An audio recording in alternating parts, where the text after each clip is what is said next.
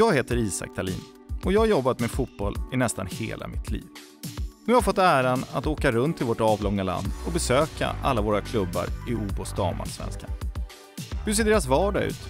Hur mår de? Vilka utmaningar stöter de på? Och självklart passar jag ju på att känna både spelare, ledare och framförallt de otroliga eldsjälarna på pulsen inför säsongen av OBOS damallsvenskan 2021.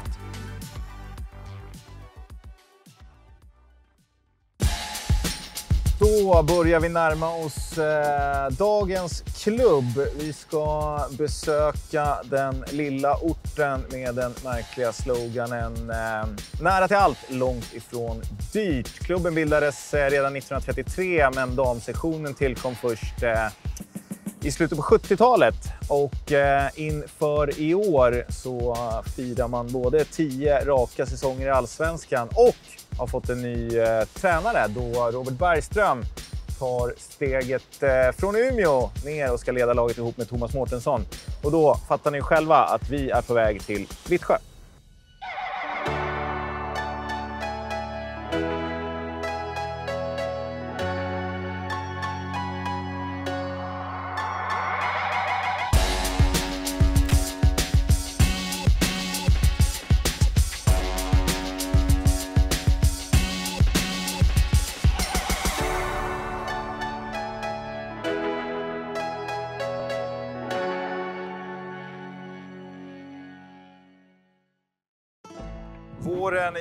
Skåne lyser eh, än så länge med sin frånvaro. Det ser mer ut som eh, julafton. Men vi har tagit oss till eh, Vittsjö för att eh, besöka den här unika klubben i Sverige och hur en liten by på 1500 invånare kan ha ett damallsvenskt fotbollslag. Till att börja med ska vi träffa hållbarhetschefen Erika Nilsson och sen så har det utlovats eh, korvgrillning. Så haka på!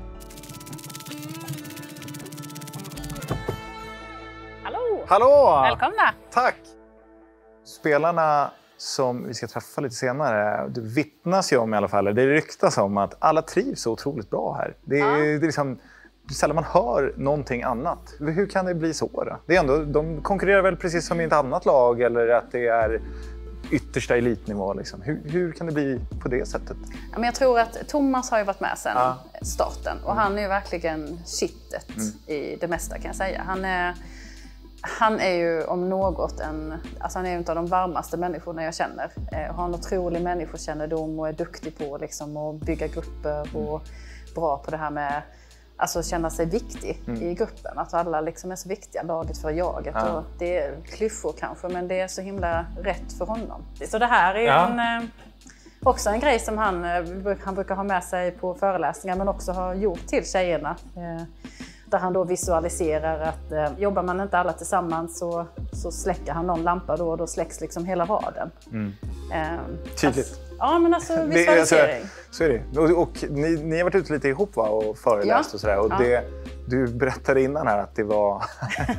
Jag det, brukar börja. Det är, inget, det är inget en, USB-minne han kommer med. Nej, jag brukar börja så kör jag min först och sen säger, vi, så säger Thomas, jag har ingen powerpoint. Det är viktigt för honom att inte ha någon powerpoint. Ja men det är det. Ja. För han hade ju heller ingen smartphone. Nej, okej. Utan okej. han hade en telefon man kunde ringa, smsa på. Och nummerupplysningen, tack gode gud för den, säger Thomas. För han ringer den, han, alltså han säkert 2000 spänn i månaden för nummerupplysningen. Tack vare att han inte kan bli... Han är en av de få som har kvar telefonkataloger hemma. Liksom. Ja, precis. Vi ska släppa in en riktig eldsjäl här snart och, och få prata om historien ännu mer. Men Ja. Liksom, finns det plats för Thomas Mårtensson i modern fotboll som det är så populärt att prata om? Liksom? Ja, men jag tror att det måste finnas eh, lite utav båda Mm. faktiskt. Det är klart att det moderna kommer in allt mer och mer och det är nya pro-utbildningar och så vidare med nytt sätt att tänka. Men fortfarande så är det ju liksom fotboll som Mm. man ska spela.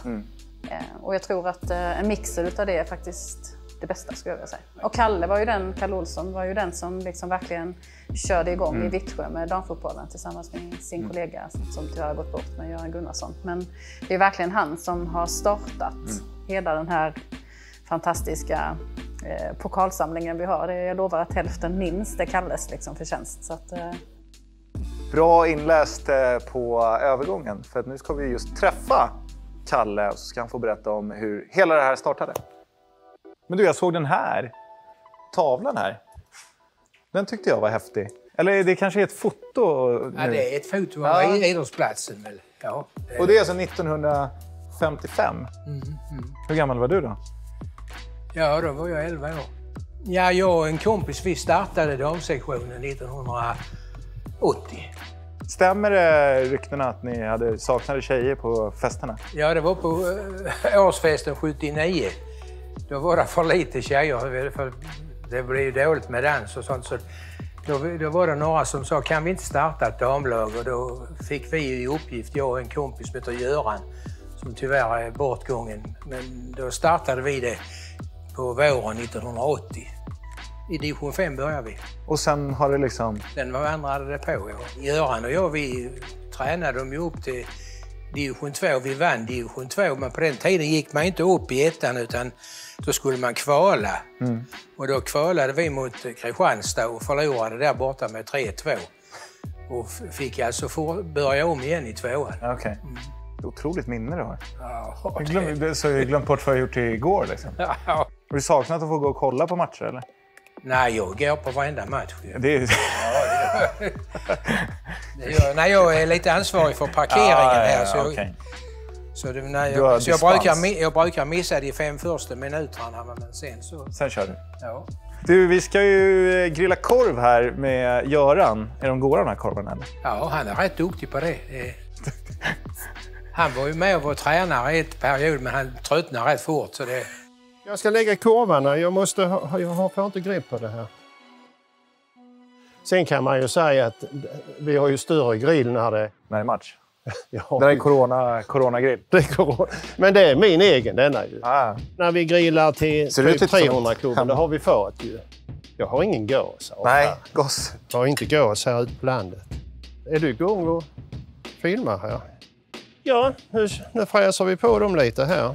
Du nämnde 300-klubben här nu då. Ja, det är på det viset att eh, det är folk som kan gå med i 300-klubben. Då får de betala 300 kronor per säsong till klubben. Och i fjol var vi väl eh, drygt 400. Då kan de komma hit på träningar här eh, två eller tre gånger per säsong. Så grillar vi korv, så bjuder vi dem på korv och så snackar de med spelarna. De kommer ju väldigt nära spelarna. De, de nästan känner varandra. Och- Vad säger spelarna om det då? Det är som att de får massa Ja, extra... Ja, det, det, Mor- mormor och morfars. Ja, man blir lite familjära. Va? Så, 300-klubben söker inte upp spelartruppen efter det har gått dåligt eller? Nej, Ställer dem mot väggen? då ligger vi lågt. Är ruggig yta på de här. Alltså. Ja, får vi med det? Eller? Det här, det här har Göran gjort förr kan jag säga. Vill du ha en well done? Absolut. Kryddkorvar. Ja, det är det nog lite va? Fan vad gott. Du kan få en korv till. Då blir det räksallad på den. Kan jag säga. Är det räksallad? Visst. Oj, oj. Oj, oj, oj. Sedan så kan du ju få hallongrottor till kaffet.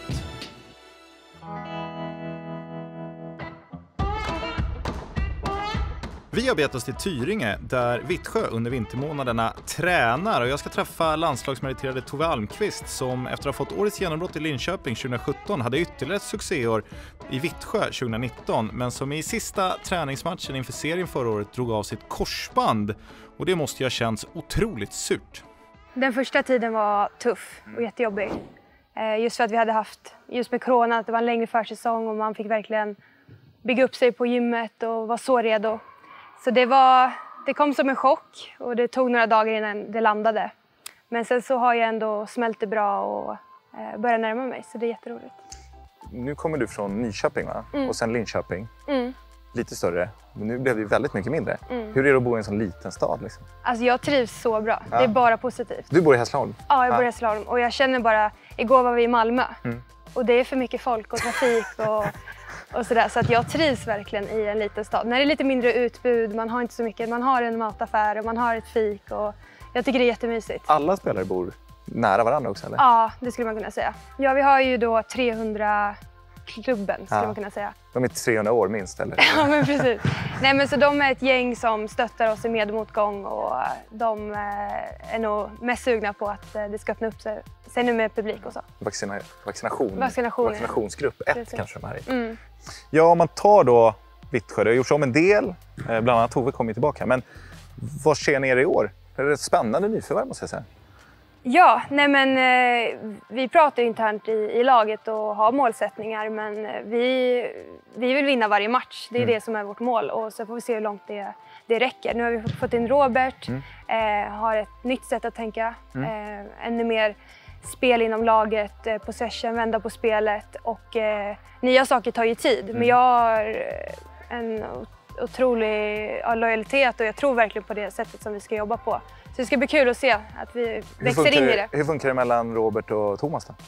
Jo men de är en bra mix. Ja. Det är lite dum och dummare. Lite olika, lite olika dialekter också. ja men absolut. Men de, de är en bra mix och det är skönt att ha kvar Thomas. Han är ju någonstans hjärtat. Mm. Han är ju Vittsjö. Han är ju. Vittsjö liksom.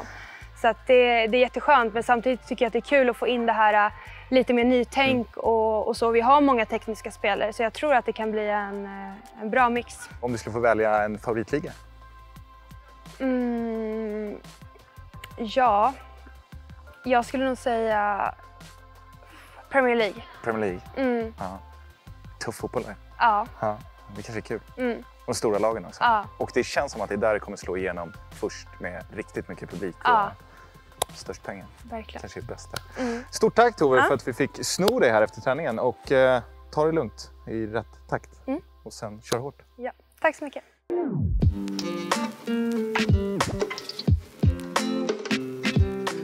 Då står vi här med ett eh, nykomponerat eh, tränarteam. Thomas Mårtensson eh, är ju kvar, men han har fått sällskap nu av Robert Bergström.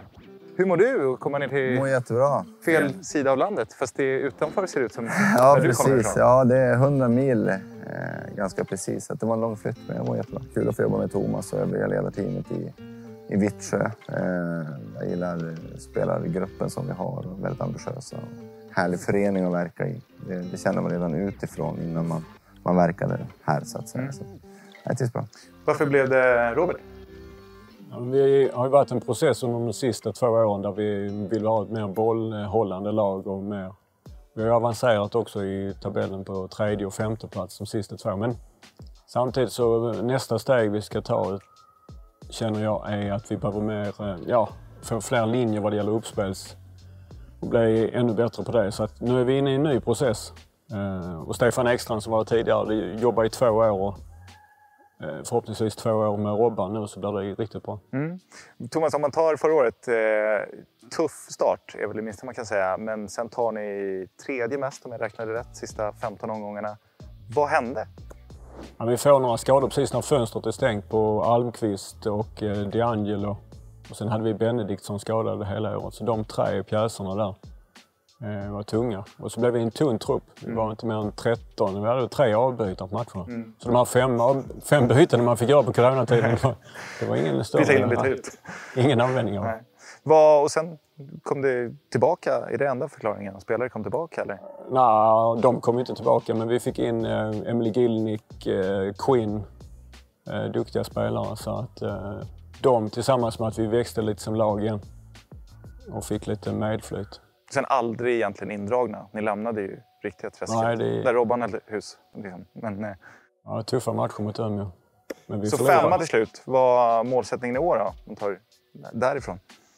Eh, vi, har, vi har ju pratat väldigt mycket om eh, prestationsmålsättning och det finns en vision eh, någonstans långt upp att det vore häftigt om Vittsjö skulle kunna komma topp tre och få spela Champions League-fotboll. Men vår målsättning med säsongen det är ju precis det Thomas har varit inne på. Utveckla lite grann lagets spel. Eh, försöka vinna varje match vi spelar. Eh, och, ja, så ser vi, ta det därifrån helt enkelt.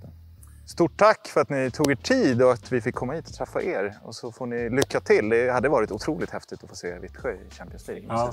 Bayern München rullar in bussen vid IP. Får de ta en annan väg än vad vi gjorde. Ja, precis. Nej, men stort tack grabbar. Tack själv. Ja, men, Tack. tack själv. Bra.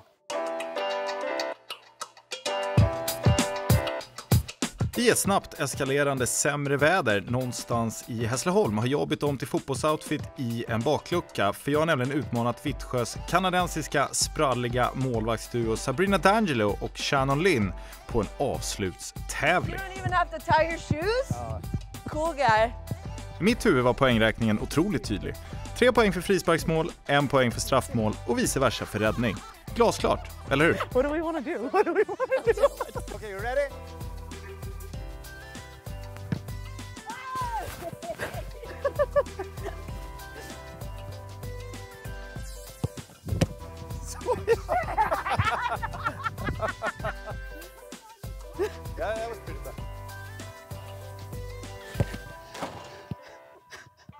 Hej då.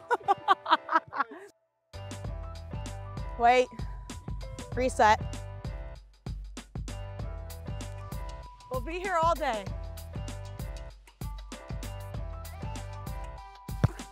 What the heck? Nej. Ah, där får vi nästan klippa bort, eh, Källström. We have to.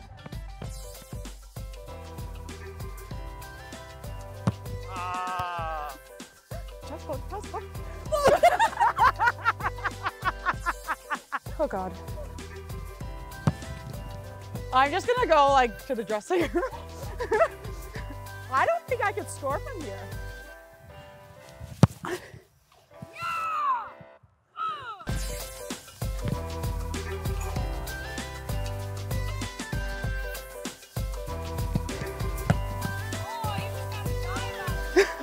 I'm gonna go left and you come into the goal. Okay. I think they're cheating.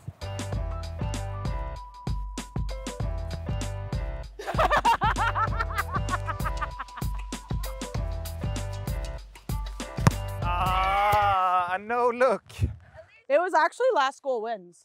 It was. It was. okay, good game. Good game. Gratis, gratis. Thank you. You seem to really, really enjoy working with each other. Yeah, I mean, like, we have a great relationship, and I think that's what makes us a good partner. And yeah, we push each other and get the best out of each other. We're competing to play, but whoever does play, we're rooting for each other and Mm. supporting each other 100%. And and that makes it, yeah, like fun because we actually do care about each Yeah. other and care about each other doing well. So That's like something special that we have here, and it's like a genuine care. Yeah. At the end of the day, whoever's in goal, like, I trust Shan and she trusts me, and that's all that matters. Everybody says is, uh, yeah, yeah, this team is like a family. Here it's like, it really is a family. Yeah, and I think when you're a part of it, you feel it. Yeah, exactly. Immediately. Exactly. Yeah. So. Very nice to meet you. Very nice to Likewise. beat you. Uh, we're gonna let you go so you don't get too. Yeah, thank you. Thank you. wet. Hej då. yeah, nice to meet you all too. Tack. Tack så Ja, mycket. well. Jaha, hur ska man summera den här dagen då? Det har inte varit den varmaste av dagar och vädret inte det bästa. Men är det något som verkligen värmer så är det hela klubben Vittsjö, hela byn Vittsjö. Kalle, Göran, Erika och den familjära stämning som jag tycker nästan borde K-märkas. Och av hela mitt hjärta så hoppas jag verkligen att Vittsjö kan behålla sitt damallsvenska lag så länge som möjligt. Och med tanke på de nya influenserna med Robert Bergström in som tränare bredvid Thomas Mårtensson så tror jag i alla fall att eh, komma hit till Vittsjö IP och ta poäng, det tror jag inte att så många lag gör. Men nu måste vi härifrån och värma oss lite.